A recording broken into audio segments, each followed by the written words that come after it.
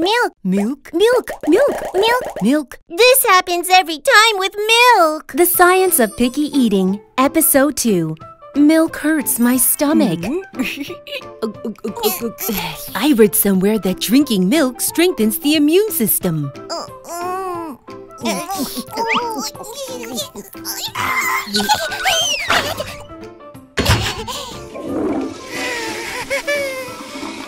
Alkong, you alright? Every time I drink milk, it hurts. Am I sick? I doubt that. Don't worry. We can ask Dr. E. Dr. E! Hello there. Doc, Alkong says milk hurts his stomach. It feels bubbly inside and I get the runs. Why is that? Am I sick? Ah, it's simple. You don't have what's called lactase to digest all that lactose in the milk. Lactose? Lactase? What are those? Let's start with lactose. Lactose are sugars inside milk made of glucose and galactose. For every 100 gram of milk, there's about 4 to 5 grams of lactose, and it's used in our bodies for energy.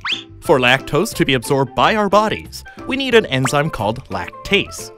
Without it, we can't break lactose apart into glucose and galactose. One out of 10 Koreans don't have lactase, and we call them lactose intolerant. Oh, so Alkong's lactose intolerant? So, my stomach hurting and getting the runs is all because of lactose? Exactly. If lactose makes its way to the large intestines, anaerobic microbes there begin fermenting the lactose, creating hydrogen and carbon dioxide gases. These gases are the troublemakers, and so after about 30 minutes to 2 hours of drinking milk, you feel bloated, it starts to hurt, and you get the runs. Whoa, so for Alkong, milk doesn't do any good? You're such a smart cookie, Sixon.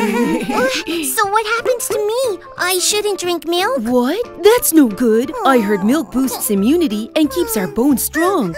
Is there a solution for Alkong, Doc? There's always a way, kids. You can either heat up the milk or drink them in smaller portions. Or if that doesn't work, you can always drink lactose free milk instead of regular milk. But what if lactose free milk still gives me the runs? Well, then, vegetable based milks would help.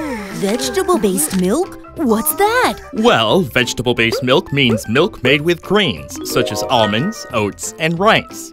Lots of vegetarians seem to be drinking this as a substitute for milk. I'm just gonna drink both milk and veggie milk. You really can eat everything, Suk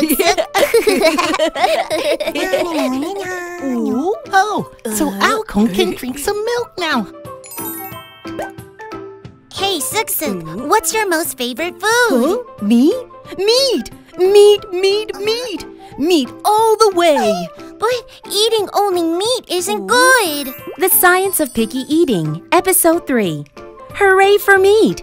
Boo for vegetables!